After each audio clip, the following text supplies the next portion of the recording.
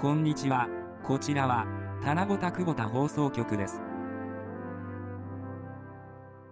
2018年、福島県で行われました、会津発動機運転会での指導式、運転始めの映像です。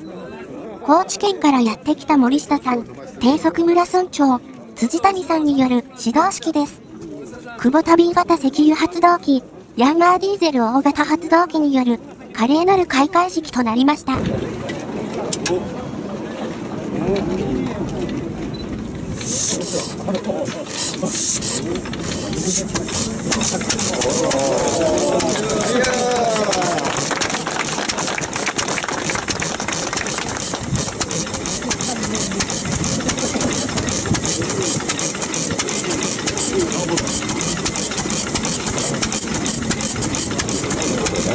なん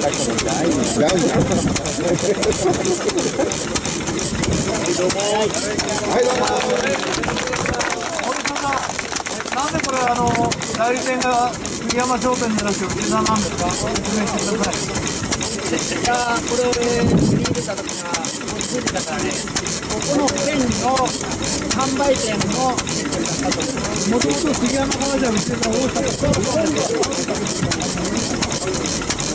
大阪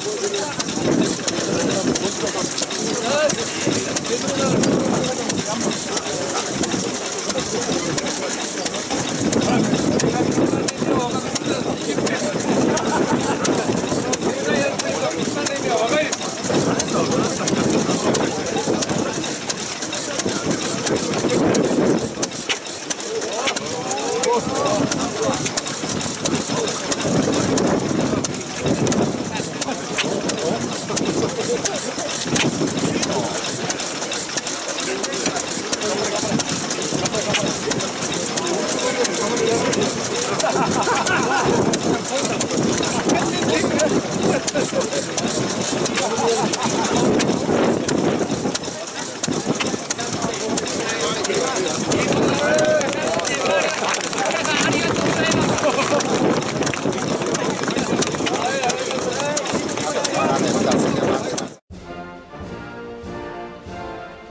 視聴ありがとうございました。